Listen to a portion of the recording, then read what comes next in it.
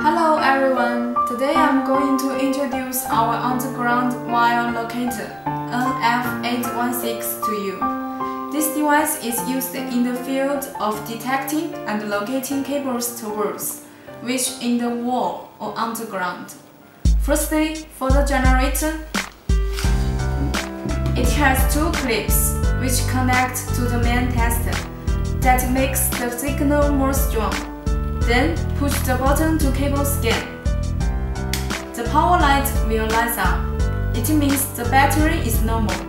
And you can also adjust the button to control the volume according to your working surroundings.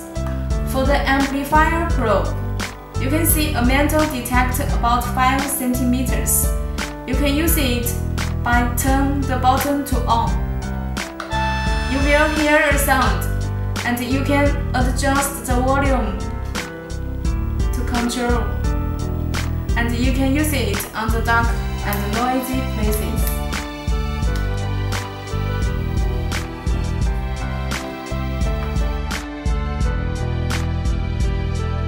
Let me show you how to operate it outside. Let's take an electric wire for example. First, the red clip clamp to the red core and the black clip to the black one. Then turn on the tester to position cable scan and adjust the volume to maximum. Then turn on the receiver. You will hear a sound. Go with.